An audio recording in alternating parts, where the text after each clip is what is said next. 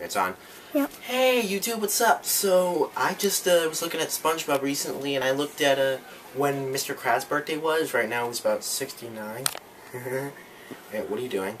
I just went like, hi. I, I don't know. The cameraman, the camera woman's weird. Uh, yeah. Mr. Hey. Stop, stop, stop. Okay. Uh, Mr. Krabs is uh, 69 years old, and um, and uh, and I just checked out when SpongeBob's birthday was. It was yesterday, July 14th, 1986, I think, which makes him. Why you go too close? Too close. Um, Close which makes him about 26 years old. Yet he's still. That's young. Yeah, but that yet he still acts like a child. All right, you're just being weird. I'll hold the camera now. Yeah, he's 26 years old and he still acts like a child. So, but it's SpongeBob. If you're watching this from the Pacific Ocean with your computer, uh, then let me If just you wish. have one. yeah, well, uh, I'm not sure if he does since he, it's like electricity doesn't work underwater.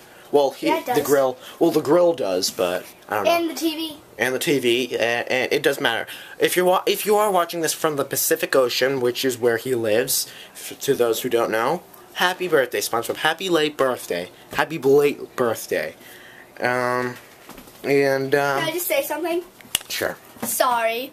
We don't know. We can't like breathe under the Pacific Ocean, so we can't give you presents or a cake. But you can make one yourself and get presents yourself. I yeah, actually, I wish. You, imagine just imagine what the uh, the his address would be. It'd be like I know it's his his street is Conch Street, but like imagine if we send it to the To mailman.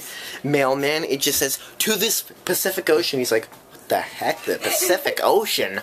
How do you send it? Doesn't that get all soggy and wet? I don't know. Well, uh, eh, I don't know. Well, if uh, to those who don't know, now you know when SpongeBob's birthday is, and um, I'll leave a link below to the Sponge Wikipedia that I saw it on the SpongeBob Wikipedia. I'll see you next time, YouTube.